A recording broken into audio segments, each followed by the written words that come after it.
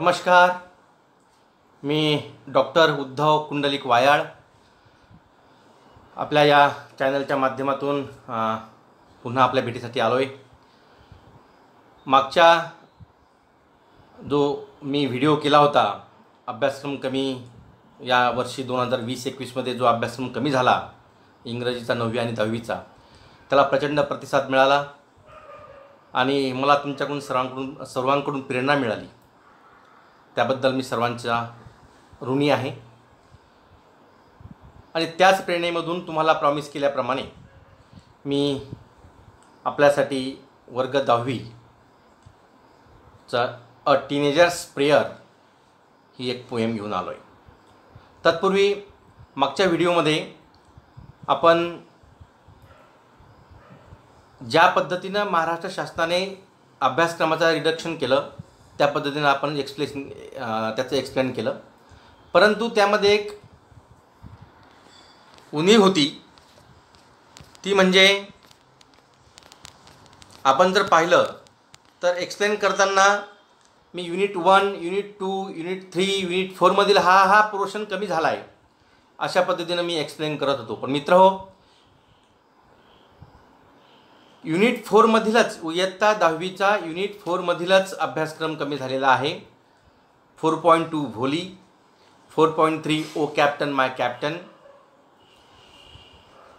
four point five Joan of Arc and four point six a brave heart dedicated to science and humanity. हा portion unit फोरमधीलच कमी झालेला आहे लक्षात घ्यावं. ती चूक दुरुस्त करून घ्यावी. आणि आज आपण पाहणार आहोत अ टीनेजर्स प्रेयर अतिशय मजेशीर पोयम आहे. याचे जे पोएट आहेत ते जे मॉरिस बघा J Morris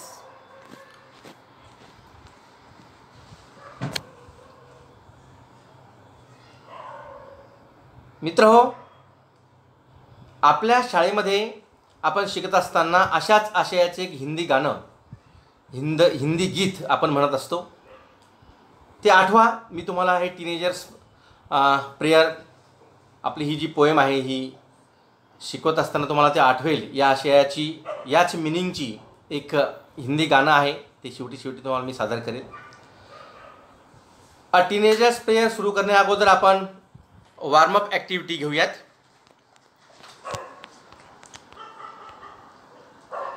warming up activity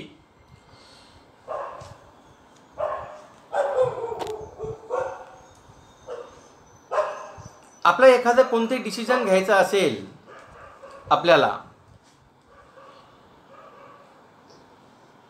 ते डिसिजन घेण्याच्या अगोदर आपण आपल्या वडील आपल्या आईबाबांना विचारतो आपल्या मोठ्या भावंडांना विचारतो मोठ्या मंडळीला विचारतो शिक्षकांना विचारतो अशाच पद्धतीनं जर एखादं डिसिजन घ्यायचं असेल when you have to take important decision what do you generally do आपण एखादं डिसिजन घ्यायचं असेल व्हेरी इम्पॉर्टंट डिपिश डिसिजन घ्यायचं असेल तर जनरली आपण काय करतो?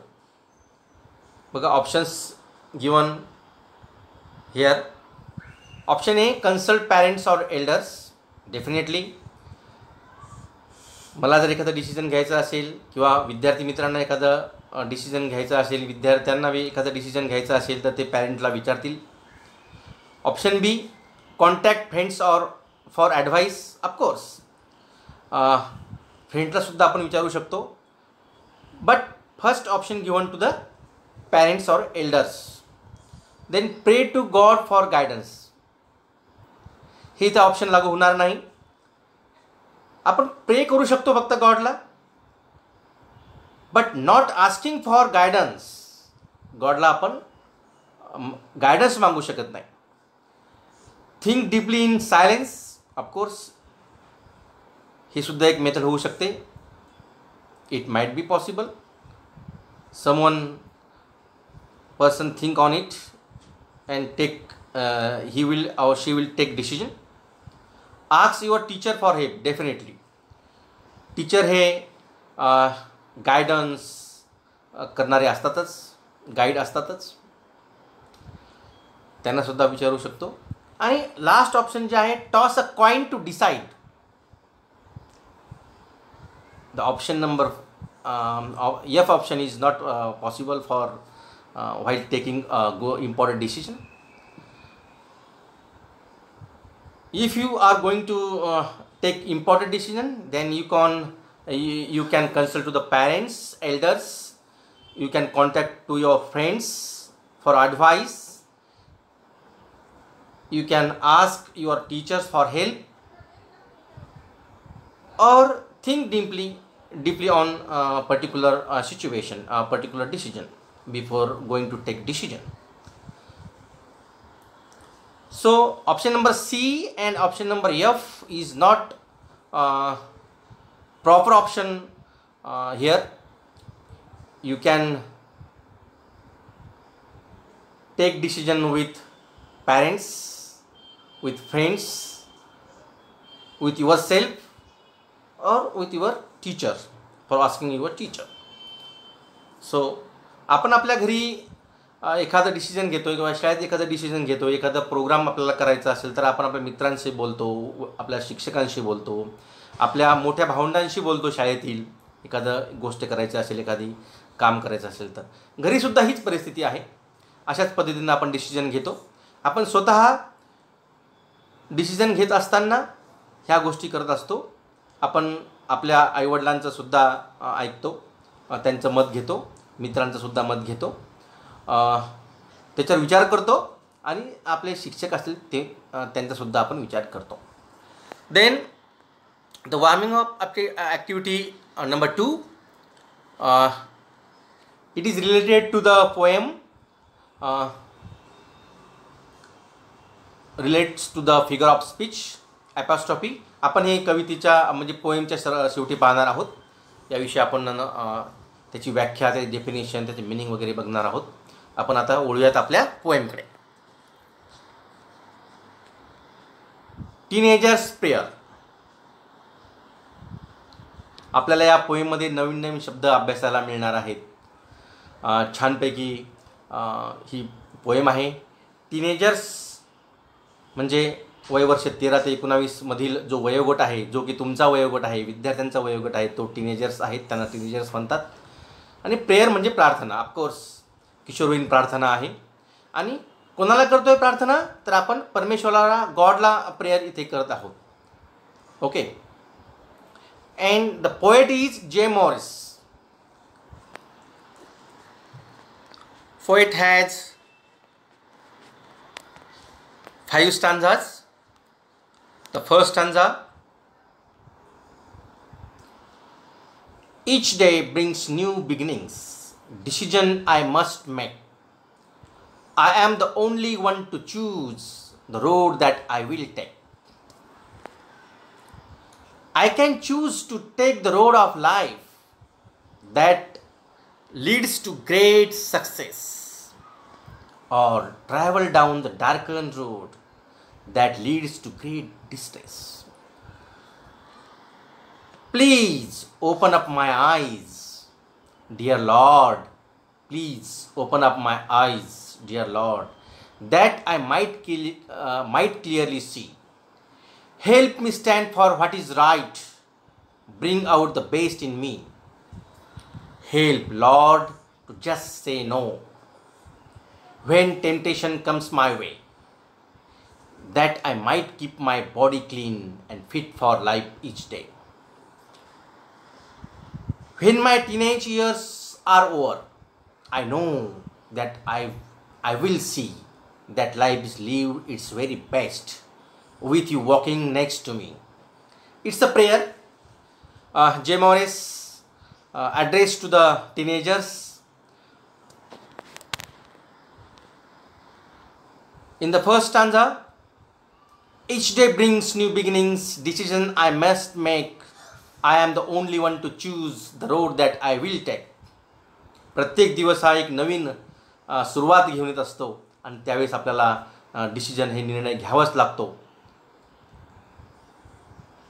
अशा पद्धतीचं आशयाचं हे stanza I am the only one to choose the road that I will take मला जो काही रोड मला जो काही मार्ग निवडायचा आहे तो मलाच निवडायचा आहे अशा पद्धतीचं आपल्याला तो निर्णय घ्यावा लागतो. Second stanza I can choose to take the road of life that leads to great success. or travel down the darkened road that leads to great distress. आपल्या जीवनामध्ये यश आनंद समाधान आपल्या जीवनामध्ये दुःख दारिद्र्य हे आपल्यावरच डिपेंड असतं. आपण कोणता रोड चूज करतो आपण कोणता रोड निवडतो यावर ते अवलंबून असतं. आपण जर चांगला रोड निवडला आपण जीवनाचा मार्ग चांगला निवडला आपली जीवनशैली चांगली निवडली तर आपण नेहमीच आपल्याला यश संपादन होतं. That leads to get success what is poet here if you choose right path it's means you leads to great success if you choose darken road darkened here. In the poem darkened refers to the evil.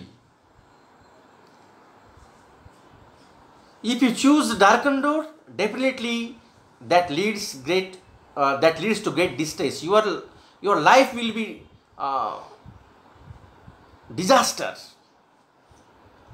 Your life will be uh, in dangerous if you choose the darkened road if you choose the right path definitely your life leads to the great success with satisfaction.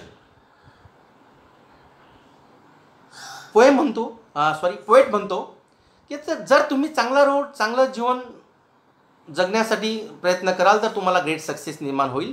तुमच्या आयुष्य सुजलाम सुफाराम बनेल. आणि तुम्ही जर वाईट uh, मार्ग निवडला जीवन जगण्याचा वाईट मार्ग निवडला तर तुमचं जीवन हे दुःखमय होणार आहे. It's leads to great success that leads to great success great uh, what is um, is the meaning of distress? The distress means great worry and strain तुमच्या जीवनामध्ये uh, एक वाईट तुमचं जीवन निर्माण होऊ शकतं. Third stanza please open up my eyes dear Lord that I might clearly see परमेश्वरा मला माझे डोळे आपण म्हणतो ना एखादी गोष्ट क एखादी एखादी गोष्ट चुकीची जर करायची झाली असेल तर आपण म्हणतो त्यावेळेस माझे डोळे का झो मी का झोपलेलो होतो का त्यावेळेस? बरोबर ना? त्यावेळेस मी का झोपलेला होतो का? म्हणून देवा dear Lord please open up my eyes माझे डोळे उघड. मला दिसू दे. That I might clearly see मला दिसू दे. एक स्पष्टपणे दिसू दे. Help me stand for what is right आणि मला मदत कर. Help me O God help me मला मदत कर. जे राईट आहे ते सत्य आहे सत्य आहे त्याच्या बाजूनं उभं राहण्याची साठी मला मदत कर. बघा याच आशयाची एक आपल्याला हिंदी गाणं आहे हिंदी गीत आहे ते आपण आठवा बघा. आठवा बरं तुम्ही. मी जेव्हा हे आपला स्ट थर्ड स्टँडा सुरू आहे मी फर्स्ट स्टँडापासून थर्ड स्टँडा येईपर्यंत या आशयाचं जे ग- जे आहे परमेश्वरा मला शक्ती दे. मला शक्ती दे चांगला मार्ग निवडण्याची. मी जर चांगला मार्ग निवडला तर माझं जीवन सुजलाम सुफलाम होईल. My life will be great success with great satisfaction आणि मला मी जर वाईट मार्ग निवडला तर माझं जीवन अंधकारमय आहे. डिस्ट्रेस ग्रेट डिस्ट्रेस या आशयाची एक गीत आहे आठवा. Please open up my eyes dear Lord that I my clearly see help me stand for what is right परमेश्वरा माझे डोळे डो- डोळे उघड. मला दिसू दे की कोणतं चुकीचं आहे आणि कोणतं बरोबर आहे. मला दिसू दे. मला मदत कर. चांगल्या बाजूने उभं राहण्यासाठी मला मदत कर मला हिंमत दे. आणि माझ्यातील जे चांगलं चांगलं आहे ते बाहेर काढ. Help me stand for what is right bring out the best in me माझ्यातील जे बेस्ट आणि बेस्ट आहे ना ते बाहेर काढ. ते माझ्यासाठी उपयोगाचं आहे आणि माझ्या सोसायटीसाठी सुद्धा उपयोगाचं आहे. बघा जे Morris use very simple word for addressing the the person person. Things things. एखादी पोएम असेल एखादी कविता असेल त्या कवितेमध्ये त्या पोएममध्ये पोएट एखाद्या वस्तूला एखाद्या व्यक्तीला ॲड्रेस करत असेल आणि तो तिथे स्पष्ट दिसत नसेल तो तिथे ॲबसेंट असेल तर तिथे फिगर ऑफ स्पीच कोणता असतो? ॲपॉस्ट्रॉफी कोणता असतो? ॲपॉस्ट्रॉफी म्हणजे इथे जे मॉरेस ॲड्रेस करतो आहे टीनेजर्सला टीनेजर्सला पण नेमकं कोण आहे समजतं का नाही? टीनेजर्स भरपूर असतात. म्हणजे पोएट ज्याला ॲड्रेस करतो तो इथे काय आहे? अब्सेंट आहे. इट्स मीन कोणतं फिगर ऑफ स्पीच यूज झाले इथे? ॲपॅस्ट्रॉफी फिगर ऑफ स्पीच इथे यूज झालेला आहे. बघा आपण वळूयात fourth स्टँडच्याकडे help Lord to just say no when temptation comes my way परमेश्वरा हे लॉर्ड मला नाही म्हणण्याची म्हणण्यासाठी मदत कर. मला नाही म्हणण्यासाठी. कुठे? जेव्हा माझ्यासमोर एखादी वाईट गोष्ट येईल जेव्हा माझ्यासमोर एक वाईट गोष्ट करण्याचा मोह निर्माण होईल तेव्हा मला नाही म्हणण्याची ताकद दे. Help Lord to just say no when temptation comes my way what is mean by tem temptation temptation म्हणजे मोह लालच. That I might keep my body clean and fit for life each day help Lord to just say no when temptation comes my way माझ्या मार्गावर जेव्हा मोह निर्माण होईल वाईट गोष्ट करण्याचा मोह मला येईल तेव्हा मला तिथे थांबण्यासाठी नाही म्हणण्याची ताकद दे. आणि असं जर केलं तर माझे लाईफ माझं जे I might keep my body clean म्हणजे मी स्वच्छ मी स्वच्छ चारित्र्याचा राहील. I fit for life each day आणि प्रत्येक दिवशी अशी जर मला तू शक्ती दिली मदत केली नाही म्हणण्यासाठी वाईट गोष्टीला नाही म्हणण्यासाठी एखाद्या मोहाला नाही म्हणण्यासाठी तर मी रोज फिट राहील फिट फिट राहील. Help Lord to just say no when temptation comes my way that I might keep my body clean and fit for life each day last stanza when my teenage years are over that I know that I will see. I know that I will see that life is lived its very best with you walking next next to me. बघा. जेव्हा हे माझे teenage हे किशोरवयीन वय संपून जाईल आणि मी आयुष्य जगायला लागेल लाईफ जगायला लागेल त्यावेळेस मला ह्या गोष्टी आठवतील. I know that I will see मी पाहिल. That life is lived its very best की जेव्हाही असं होईल ना चांगल्या चांगल्या गोष्टी टीनेजर्समध्ये माझ्याकडून होतील तेव्हा मला that life is lived its very best मी ती लाईफ जी काही आहे ती चांगली जी माझं जीवन आहे चांगलं व्यतीत केलं with you walking next to me it is very it is very simple addressing to the teenagers by J Morris by by poet it is very uh, important that use uh, simple uh, words in uh, to addressing to the uh, uh, teenagers. Here we learn new new words. Teenagers prayer then darkened distress choose temptation. These are the new words we learn today so,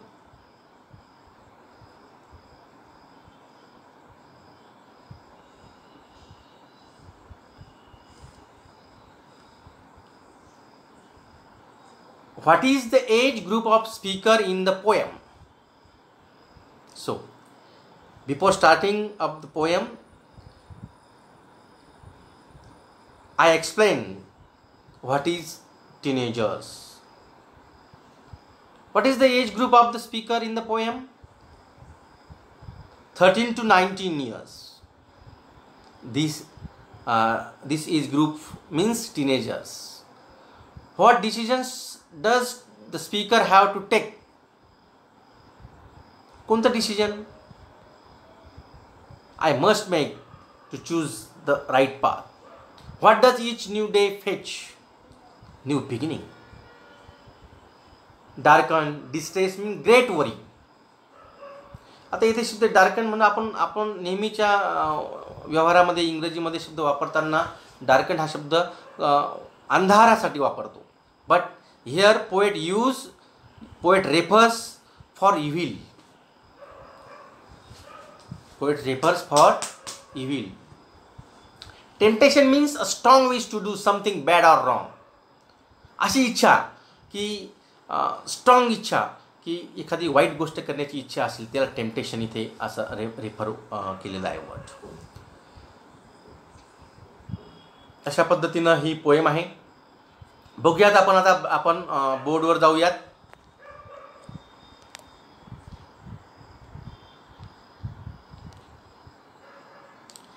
नेमकं आपण नवीन words कोणकोणते शिकलोत ते बघूयात.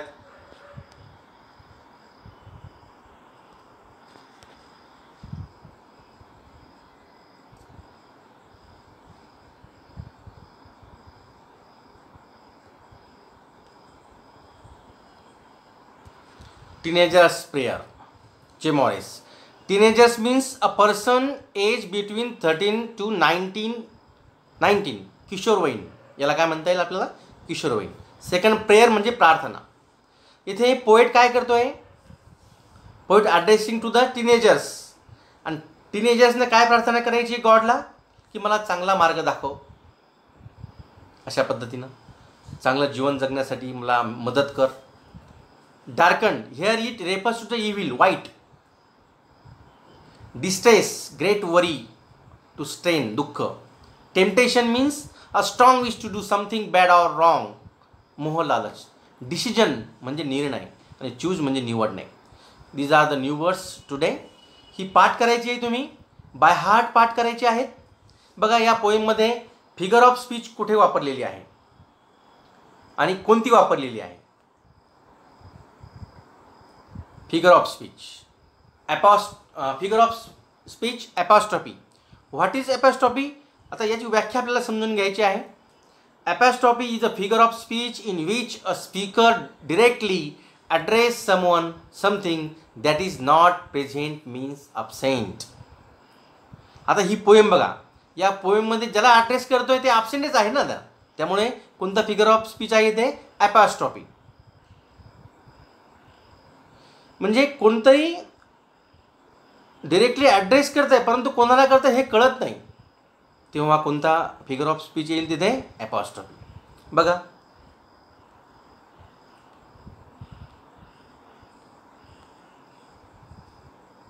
In this poem poet seems to talk directly to and absent person.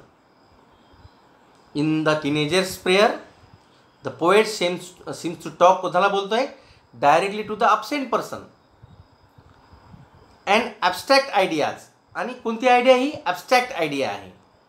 Things and object म्हणजे या पोएममध्ये poet seems to talk to direct direct to and absent person it's means in this poem poet use which speaker of speech apostrophe अशा पद्धतीनं ही poem आहे.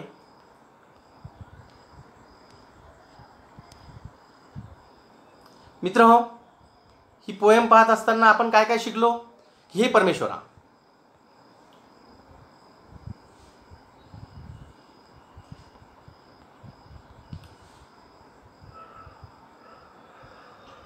मला चांगला मार्ग दाखव. मला जीवन चांगलं जगायचं आहे. मला चांगला मार्ग दाखव.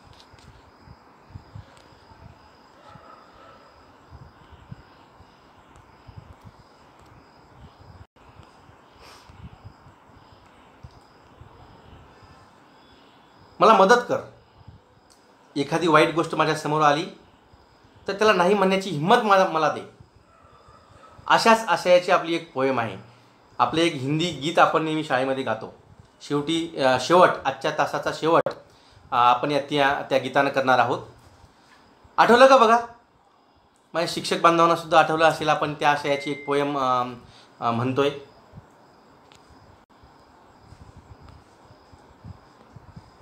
शाळेमध्ये. आणि ती पोयम म्हटल्यानंतर ते गीत म्हटल्यानंतर आपल्याला आपल्याला एक आतून आपल्याला एक मोटिवेशन मिळतं चांगल्या गोष्टी करण्यासाठी. आठवते का बघा बरं? तोपर्यंत मी रिव्हिजन घेतोय. मी रीडिंग करतोय पोएमची तोपर्यंत आठवतं का बघा तुम्हाला?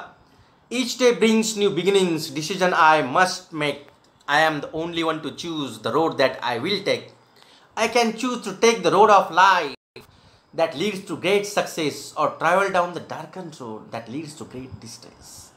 Please open up my eyes, dear Lord, that I might clearly see. Help me stand for what is right brings out the best in me. Help Lord to just say no when temptation comes my way. That I might keep my body clean and fit for life each day. When my teenage years are over, I know that I will see that life is lived its very best with you walking next to me. जे मोरेस आठवली poem आपलं एक हिंदी गीत आहे आठवलं आठवलं असेल तुम्ही सर्वजण हुशार आहात आठवलं असेल करू सुरुवात त्या गीताला अशाच अशाची पोएम आहे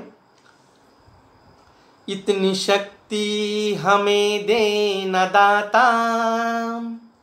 मन का विश्वास कमज़ोर होना।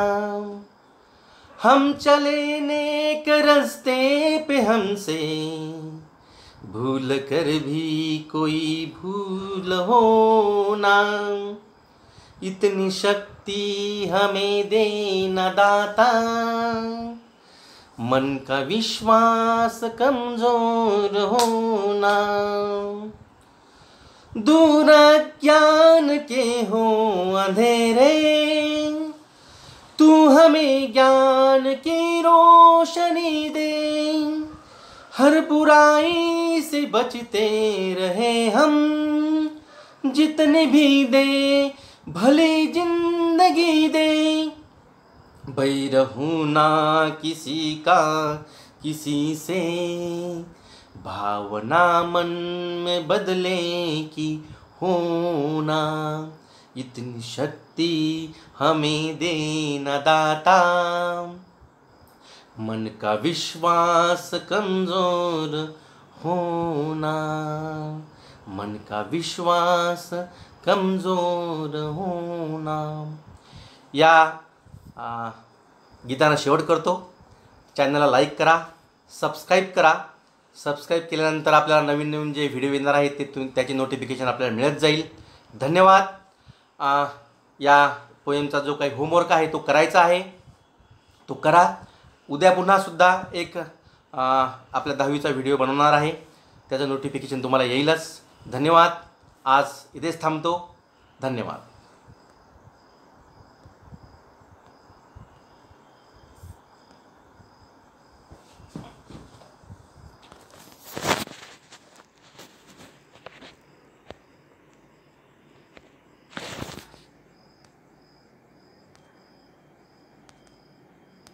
रेकॉर्ड झालं नाही ते म्हणजे